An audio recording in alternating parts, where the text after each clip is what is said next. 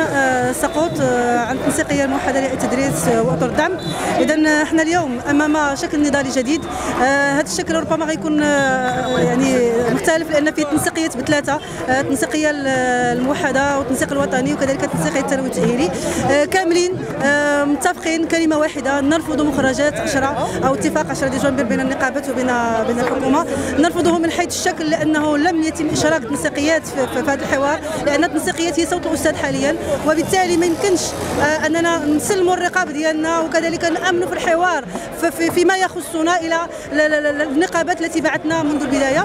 كذلك نرفضه من حيث المضمون لأن مخرجات هذا الحوار وإن طبلت لها الحكومة وهللت لها في كل صحفها ومحطاتها التلفزيونيه إلا أن هذه المخرجات لا تهمنا لأن إحنا كأساتذة واخا تزيدني 10000 درهم. إذا كان النظام الأساسي مازال قائم فأنا أرفض هذا النظام وأرفض الزيادات. حنا اللي خرجنا اليوم للشوارع راه ماشي هي الزيادات في الأجور وإن كانت الزيادة مطلب من المطالب كذلك ديالنا ولكن ليس هو المطلب الأساسي. اللي خرجنا اليوم إلى الشوارع هي الكرامة ديالنا المهانة في هذا النظام الأساسي. اذا أول مطلب بالنسبة إلينا كمكونات ثلاث هو إسقاط النظام الأساسي. كذلك إدماج المفروض عليهم التعاقد. هو حل حل الملفات الفئوية للاساتذه شكرا.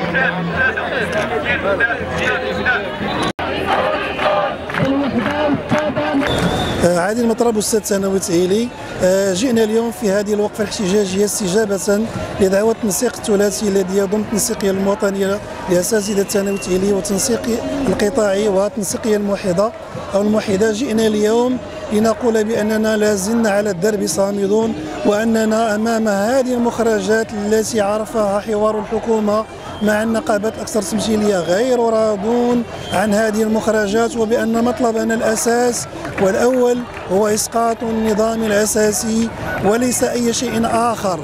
أما فيما يتعلق فيما يتعلق بتجميده فهذا التجميد هو كلام دون معنى ودون جدوى ودون سند قانوني إلى اليوم واليوم نجد أن مجموعة من الإجراءات والترتيبات والتوقيفات تتم باسم النظام الأساسي إذا التجميد ليس واقعيا ليس امرا واقعيا وبالتالي نطالب ونكرر بأننا نريد إسقاط هذا النظام وإلغاء بنوده المجحفه في حق الرجال ونساء التعليم. أما ما يتعلق بالزيادة ديال 1500 درهم فللتوضيح هي على شطرين. 750 درهم في يناير 2024 و 750 درهم في يناير 2025 وفي نظر الرجال ونساء التعليم هي غير كافية وغير يعني ضامنة لعيشنا الكريم في ظل ما نعرفه جميعا كشعب مغربي في ظل هذا الغلاء وارتفاع نسبة التضخم. فبالتالي لا يمكن أن نتحدث عن عيش كريم. نطالب لم نعد نطالب بزيادة مالية مقدرة ولكن نطالب فقط بالعدالة الإجارية. كما تزادت وزارة المالية 6000 درهم كما وزارة الصحة 4000 3000 2000 درهم كما مجموعة من القطاعات اللي عرفت زيادة مهمة كنطالبوا حنا تكون زيادة تضمن هذا العيش الكريم. كما كنطالبوا بأنه الأرقام الاستدلالية في الرتب وفي الدرجات تكون مساواة من جميع القطاعات العمومية يعني بما يضمن واحد العدالة الأجارية لماذا دائما رجل وامرأة تعليم يعني يتقاضى مبلغ 80 درهم في الرتبة يعني كتسنى مثلا خارج السلم ثلاث سنين باش تاخذ 80 درهم. فماذا ستسد هذه القيمة المالية. أعتقد بأنه اليوم رجال ونساء التعليم ما زالوا يعتقدون بأن مخرجات الحوار هي مخرجات غير جدية ولا تستجيب كما يقول دعاة الإصلاح أن رجل التعليم في صلب الإصلاح والعيش الكريم من أولويات هذه العملية ولكن واقعيا هذه المخرجات لا تضمن هذا العيش الكريم والواقع والغلاء والمعيشة تؤكد أن هذا المخرج لا يمكن أن يكون مخرجا يضمن هذا العيش الكريم.